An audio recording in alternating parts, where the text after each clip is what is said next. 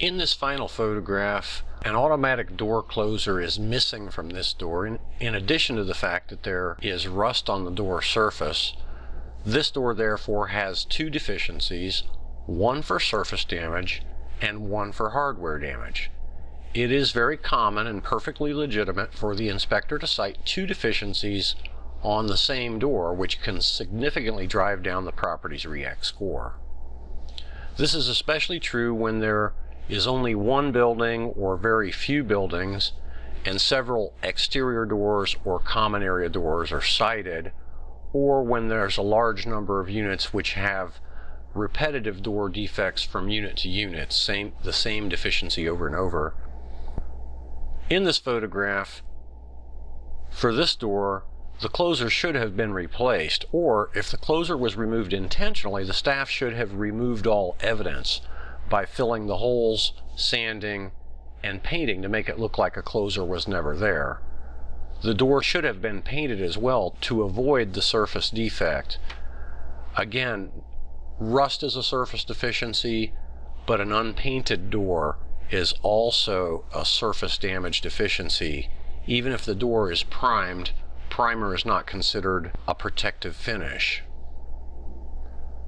Thanks for watching. This has been Critical elements of the REAC inspection, exterior common area and unit doors presented by the inspection group and REAC Solutions. Created and narrated by Michael Gantt.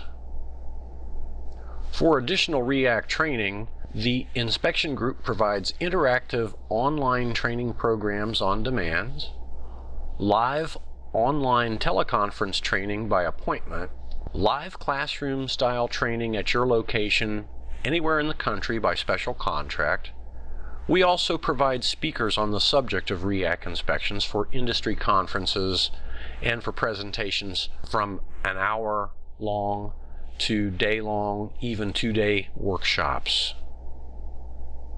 For more contact, you can contact me, Michael Gantt, at solutions at reacsolutions.com or contact Saul Himmelstein at saul at theinspectiongroup.com.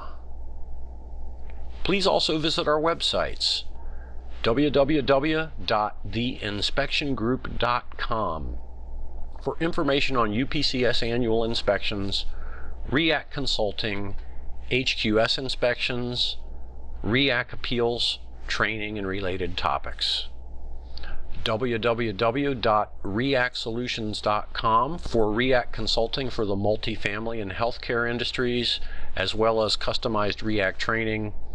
Also see www.reacguide.com for UPCS REAC inspection learning guides and scoring data publications. Thanks.